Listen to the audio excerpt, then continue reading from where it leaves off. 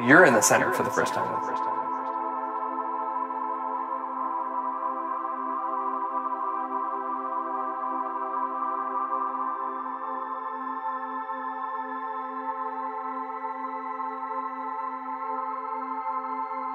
we see a design that brings together our knowledge and technology with our knowledge and human behavior.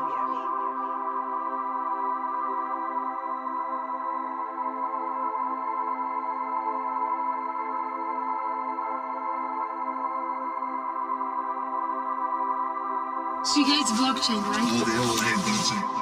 Your ex-girlfriend?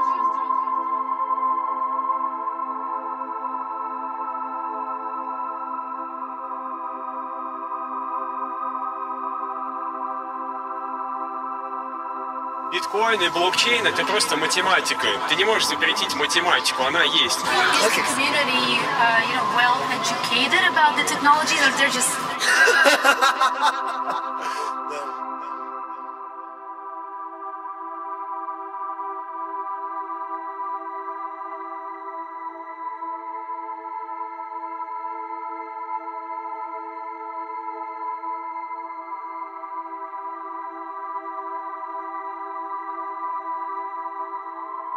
I am also afraid that everybody will attempt to participate in this economy and get hurt.